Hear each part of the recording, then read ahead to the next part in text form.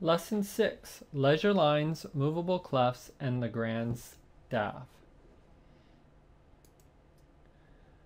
Notes ascend the treble staff, and when they get to the top, you can keep going by adding lines. These lines are called ledger lines.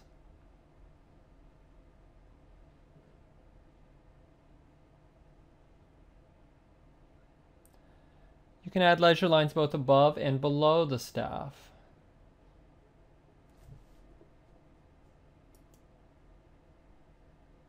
Previous to 100 years ago, musicians avoided using ledger lines.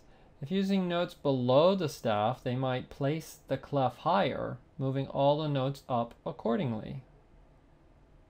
Or they might use a different clef. In this case, a C clef shows where C is between the two bumps. In modern usage, the C clef can be placed in different places on the staff.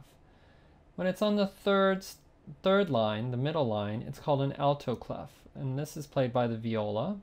When it's on the fourth line, it's called a tenor clef, sometimes played on the cello or the bassoon. In fact, these clefs are octave specific. The C clef identifies middle C.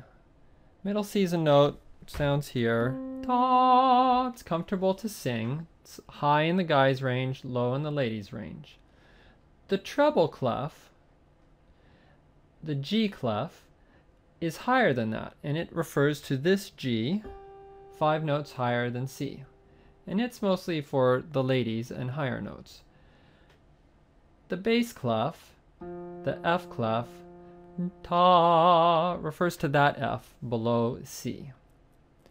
If you notice, we could cover a lot of notes if we have the treble clef on top of the bass clef. And this is called the grand staff.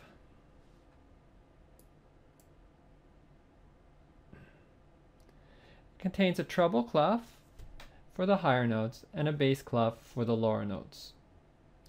Between the treble and the bass is middle C. It can be thought of as one ledger line below the treble clef, as well as one ledger line above the bass clef. Ascending up the bass clef, notes may go higher than C by passing into the treble clef, which is the same as if you use ledger lines above the bass clef. This diagram shows the four notes on the left are the same four notes as the ones on the right. Similarly, ledger lines below the treble clef are the same notes as those on top of the bass staff.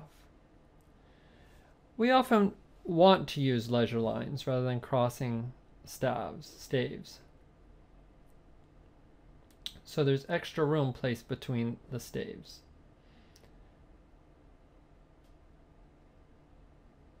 This note is middle C, whether it's shown in the bass clef or in the treble clef.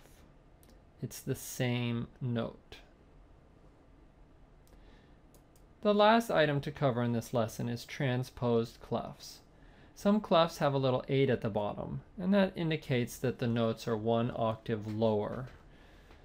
Tenors often sing using this clef, the treble clef, one octave lower. So they read it just like the ladies read it, but since they're guys, their notes are an octave lower than the ladies. For the video on the exercise, we will wait, um, I'll post that separately.